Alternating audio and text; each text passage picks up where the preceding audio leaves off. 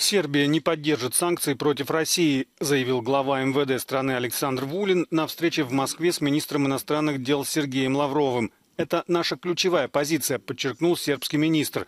В ответ глава российского МИДа подтвердил, что позиция Москвы по косовскому вопросу остается неизменной.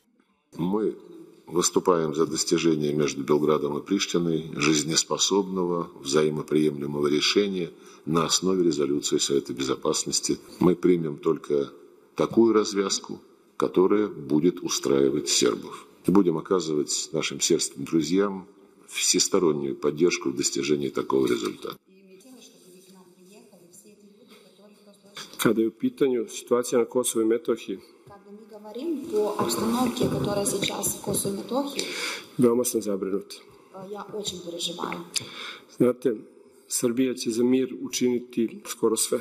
Сербия, э, чтобы сохранила мир, она э, сделает, э, что касается себя и со своей стороны, все, что возможно. I mi smo spremni i na kompromise i na dogovore. Визит Лаврова в Белград был запланирован на июнь, но не состоялся из-за отказа соседних с Сербией стран предоставить коридор самолету российского министра.